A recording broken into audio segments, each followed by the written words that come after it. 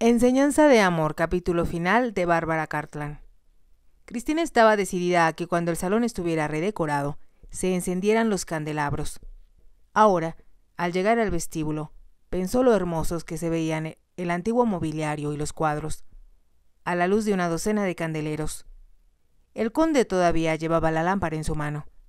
Ya no la necesita, añadió Cristina, señalándola. La quiero en mi dormitorio, agregó él, porque, para ser sincero, me gusta más leer a la luz de la lámpara que a la de las velas, que Brooke habrá dejado encendidas para mí. Espere hasta que tengamos luz eléctrica, aseguró Cristina. Entonces, si desea leer toda la noche, solo necesitará encenderla. Puedo pensar en cosas mejores que hacer, admitió el conde. Habló sin pensar. Era el tipo de comentario que, si hubiera estado con sus amigos o cualquier otra mujer, habría provocado risas maliciosas.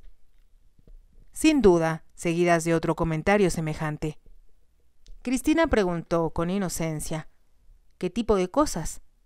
El conde lo pensó un momento y entonces respondió, es por la noche que tengo mis mejores ideas, como estoy seguro que usted también. Supongo que así es con todos, señaló Cristina con seriedad. Es el momento en que uno está a solas y sin ser interrumpido. Yo siento como si flotara hacia el cielo, en lugar de preocuparme por los problemas y dificultades terrenales. El conde pensó que era el tipo de cosas que ella imaginaría. También estaba seguro de que eso ocurría cuando rezaba. Habían llegado a la puerta del dormitorio de ella. Mientras él la abría, Cristina comentó Muchas gracias, Michael. Ha sido una deliciosa velada. Mañana hablaremos más del asunto. Por supuesto, agregó él. Ella estiró su mano hacia la puerta. El conde la tomó y se la llevó a los labios. Solo tocó la suavidad de su piel.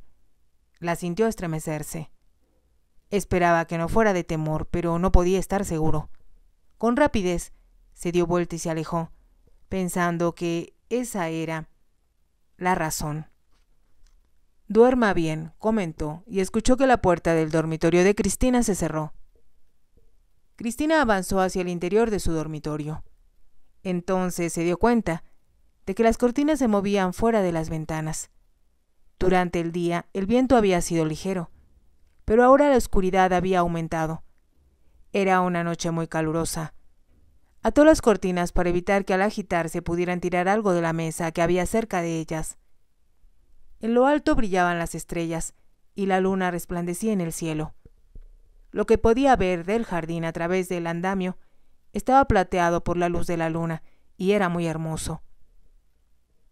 Estoy segura de que esta casa es una de las más bonitas del mundo, pensó. ¿Y quién podría pedir más? Se desvistió, ya que había dicho a Marta que no la esperara levantada. La mujer le había comentado que sufría un poco de tos. Cristina le indicó que se acostara temprano y tomara algo para aliviarse. Será miel, mi lady, agregó Marta. No hay algo mejor que la miel para la garganta irritada, como me decía mi madre desde que yo era pequeña. Mi madre pensaba lo mismo, aseguró Cristina. No se preocupe, Marta. Con facilidad puedo desvestirme y estoy segura de que mañana se sentirá mejor. Eso espero, mi lady, y gracias por pensar en mí. Cristina colgó su vestido en el armario. Entonces se quitó sus joyas y las dejó sobre el tocador. Pensó que al día siguiente las guardaría en sus estuches de terciopelo. Lo más sensato era guardarlas en una caja de seguridad, ya que había tantos operarios alrededor. Sabía que Michael tenía una en su dormitorio. Era mucho más seguro que guardarlas en un cajón. No podría tolerar perder algo de mamá, se aconsejó. Mientras las usé esta noche, sentí que ella me guiaba y me decía lo que debía hacer. El conde no estaba tan enojado con ella como temía, mientras bajaba. De hecho, ahora que lo analizaba, nunca se había mostrado tan encantador y amable. Es una persona maravillosa, susurró, mientras se veía en el espejo, y me gustaría que pensara que yo también soy maravillosa. Entonces recordó lo molesto que había estado con ella, se prometió que nunca más sería tan tonta y absurda. Él tiene toda la razón, pensó, mientras se metía a la cama después de decir sus oraciones. Debo comportarme en la forma en que mamá lo haría, y estoy segura de que ella me está ayudando. Ya había apagado las velas del tocador, así que apagó las que había junto a su cama. La habitación no quedó a oscuras. La luz de la luna entraba a través de la ventana abierta, vertiendo un brillo plateado en la alfombra. Cristina se preguntó si el conde estaría viendo las estrellas en su dormitorio. Entonces se imaginó que lo consideraría algo demasiado sentimental. Estaría leyendo un libro o se dispondría a dormir. Yo también debo dormirme, se aconsejó, porque mañana hay mucho que hacer. Cerró los ojos. Entonces escuchó un extraño ruido. Fue un crujido, o un golpe, como si algo hubiera caído al suelo. Se enderezó en la cama. Al repetirse el ruido, salió de un salto de la cama. Estaba casi segura de lo que sucedía y pensó que debía prevenir al conde. Sin pensarlo, tal como estaba, en camisón, cruzó su habitación. Abrió la puerta de comunicación. Había un boidor entre su habitación y la del conde. Era muy pequeño e íntimo. Ahí la madre de él escribía sus cartas y guardaba sus posesiones más valiosas y queridas como los regalos que su esposo y su hijo le daban en sus cumpleaños y en Navidad. Había una colección de ángeles de porcelana de Dresden, que se había enriquecido con los años. Cristina cruzó el buidor a la carrera y abrió la puerta que se encontraba al otro extremo. Esta conducía al dormitorio del conde. Vio que estaba ya en la cama, con la lámpara a su lado, leyendo un libro. Levantó la vista y exclamó asombrado Cristina, ¿qué pasa? Creo que el viento va a derrumbar el andamio, exclamó ella, casi sin aliento. Hace extraños ruidos y se cae. Puede dañar las ventanas del primer piso. El conde cerró su libro. Iré a ver, indicó. Titubeó antes de añadir. Le aconsejo que mire hacia otro lado mientras salgo de la cama. Cristina se ruborizó y se dio vuelta, permaneciendo en el umbral de la puerta. Daba la espalda al conde. Como hacía tanto calor, él estaba desnudo hasta la cintura. Cuando salió de la cama se puso la bata de seda que Brooke dejó dispuesta para él, en una silla. Entonces tomó la lámpara y señaló. Ya estoy listo, así que veamos el daño. Me molestaré mucho si hay un andamio colocado con tal descuido, que el viento pueda derrumbarlo. Se movió hacia Cristina mientras hablaba, y entraron en el buidor. Ella dejó que se adelantara, ya que llevaba la lámpara. Cruzaron la habitación y él abrió la puerta de comunicación que ella dejó solo entornada. Entró al dormitorio con Cristina justo detrás de él. Entonces ambos se detuvieron. De pie, junto a la ventana abierta por la que era evidente que acababa de entrar, estaba un hombre. Su ropa era negra y, para horror de Cristina, cubría sus ojos con un antifaz negro. Sobre la cabeza usaba una gorra tan grande que hacía imposible ver sus facciones. ¿Qué hace aquí? preguntó con brusquedad el conde. El intruso sacó un revólver de su bolsillo y le apuntó con él. Quiero todo el dinero que tengan, respondió el hombre. Su acento lo denotaba como alguien de los barrios bajos. No traigo dinero conmigo. Será mejor que lo consiga, ordenó el hombre, porque si no, le resultará desagradable que un pedazo de plomo le atraviese el corazón. Al decirlo, apuntó con su revólver hacia el pecho del conde. Cristina lanzó un gemido de horror. El intruso dirigió su atención a ella. Y en cuanto a su bonita dama, puede entregarme las joyas que hay en su tocador. Cristina miró al conde. Para llegar al tocador tendría que cruzar entre él y el ladrón. Por primera vez se dio cuenta de que solo estaba vestida con su camisón. El conde se preguntaba desesperado qué podría hacer. Sostenía la lámpara en su mano izquierda, aun cuando tenía la derecha libre. Estaba a varios metros de distancia del hombre que le apuntaba con la pistola. Aunque se moviera con rapidez, podría resultar herido antes de alcanzarlo. Entonces le sería imposible proteger a Cristina. Casi como si el ladrón adivinara lo que pensaba, señaló a Cristina. Haga lo que ordeno o terminaré con su señoría antes de obligarla a entregarme lo que quiero. ¿Cómo puede ser tan malvado? preguntó Cristina. El ladrón se rió en una forma muy desagradable. La razón es muy sencilla, respondió. Soy pobre. Ustedes son ricos, y yo quiero pasar mi vejez con comodidad. Le doy dinero, intervino el conde. Si deja las joyas de mi esposa donde están. Pertenecen a su madre y ella no toleraría renunciar a ellas. Mi madre nada me dejó, agregó el ladrón, así que me llevaré las joyas y el dinero.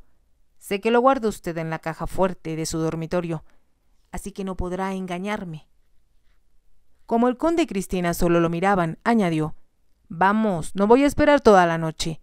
Deme las joyas o yo las tomaré, así como todo lo demás que quiera. Un hombre muerto no podría impedirlo. Apuntó su revólver hacia el conde con actitud todavía más amenazante. Cristina lanzó un grito de horror. Corrió detrás del conde, para no pasar junto al ladrón, hacia su tocador. Tomó las joyas de su madre, el collar, los brazaletes y los pendientes. Brillaron a la luz de la lámpara cuando se dio vuelta para regresar junto al salón. Junto al ladrón. Eso está mejor, señaló él cuando ella llegó a su lado. Extendió su mano izquierda. En ese momento, Cristina levantó su pierna. De pronto, el ladrón cayó de espaldas sobre el piso. Sus brazos estaban extendidos y el revólver se zafó de su mano. Cayó como a un metro de distancia de él bajo una silla. Con la rapidez de un hombre acostumbrado al peligro, el conde recogió el arma. A la vez dejó la lámpara que le estorbaba en la mesa más cercana. Mientras, el hombre que había caído al suelo se puso de pie. Como un animal asustado escapó por la ventana. Debió caer en el andamio. El conde lo escuchó bajarlo con rapidez. Se dirigía hacia la ventana cuando Cristina se movió. Dejó caer al suelo las joyas y se arrojó contra él. Pudo haberlo matado, murmuró incoherente. Le rodeó el cuello con sus brazos y lo besó en la mejilla. Entonces, sus labios se unieron. El conde la abrazó para ceñirla a él. La besó feroz, posesivo y apasionado. La besó hasta que ella sintió que se derretía en él, y que ya no eran dos personas, sino una sola. El terror que sintió al pensar que podría haber sido asesinado se convirtió en una emoción salvaje e incontrolable. Después, en un éxtasis que jamás conoció ni imaginó. La luz de la luna reflejaba en su cuerpo y las estrellas brillaban en su pecho.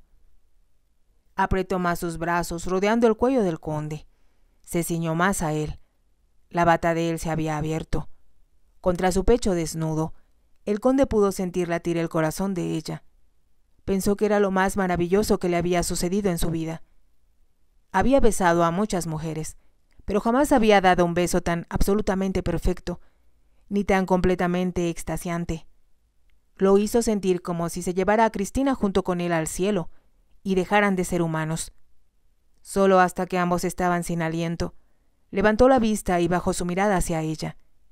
Su dorado cabello caía sobre sus hombros desnudos.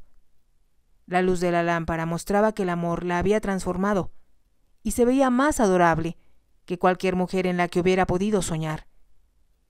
Te amo, murmuró con voz profunda. Te amo, te amo, susurró Cristina, y pensé que te matarían, pero ya se fue. Que se vaya, agregó el conde. Te he encontrado y es todo lo que importa. La besó de nuevo. Era imposible poner en palabras lo que sentía. El milagro había sucedido. Ella lo amaba. Aun cuando sus labios eran suaves, dulces e inocentes, percibía el éxtasis detrás de ellos. Solo podía provenir de un amor que hacía eco a lo que él sentía.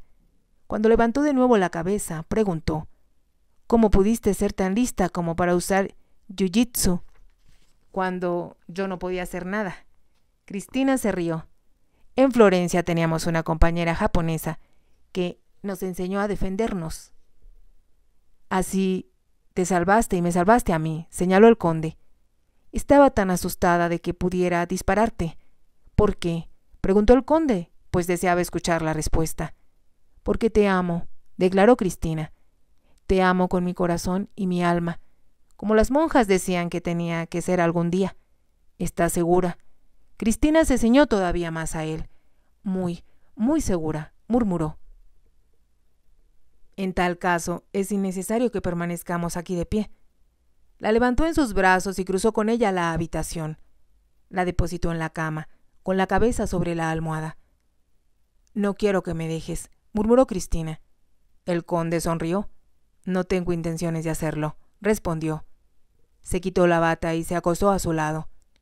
Entonces la tomó en sus brazos. Si supieras, comentó, cuánto he anhelado que me dijeras que me amabas. Ha sido una agonía que espero no volver a experimentar. Saber que estaba solo a la distancia de una habitación y no atreverme a acercarme a ti. Cristina presionó sus labios sobre el pecho de él. ¿Cómo pude ser tan tonta? preguntó. De no dejar que me tocaras como deseabas hacerlo. Por supuesto que lo deseaba, respondió el conde. Quería besarte y hacerte mía. Se dio cuenta de lo que había dicho. Con diferente tono continuó en voz muy suave.